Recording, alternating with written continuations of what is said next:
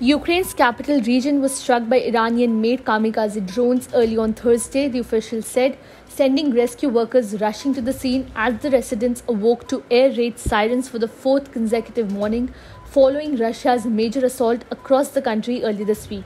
Kiev regional governor Oleksiy Kuleba said that the strikes occurred in the area around the capital.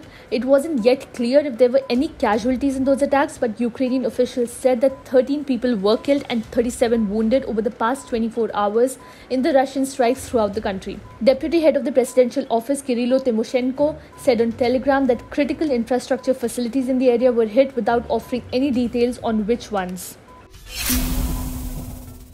Rockets have landed near the Iraqi capital's green zone, home to the government buildings and foreign missions, according to a military statement, as a controversial parliament session was about to begin to elect the country's new president. Several civilians and members of the security forces were wounded in Thursday's attack, Al Jazeera reported from Baghdad.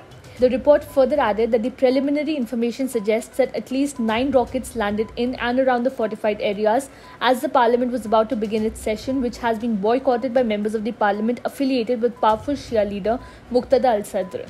Quorum was reached to hold the session in the afternoon with at least 269 lawmakers of the 329 attending the session. One rocket landed in proximity of a mosque in the Alawi neighborhood near the green zone.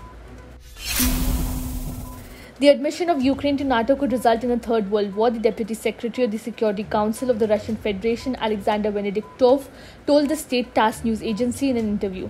Kiev is well aware that such a step would mean a guaranteed escalation to a World War III, TASS cited Venediktov as saying. Apparently, that's what they're counting on to create informational noise and draw attention to themselves once again. Venediktov also repeated the Russian position that the West, by helping Ukraine, indicated that they are a direct party to the conflict. Ukrainian President Volodymyr Zelensky announced a surprise bid for fast track membership of the NATO military alliance at the end of September after President Vladimir Putin held a ceremony in Moscow to proclaim the four partially occupied regions as annexed Russian land.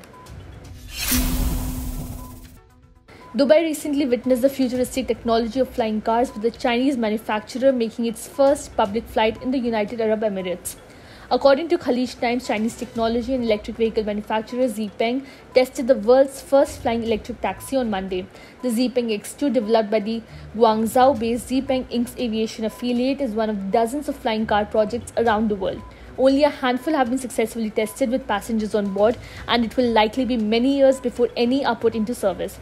This demonstration was held with an empty cockpit, but the company says that it carried out a manned flight test in July 2021.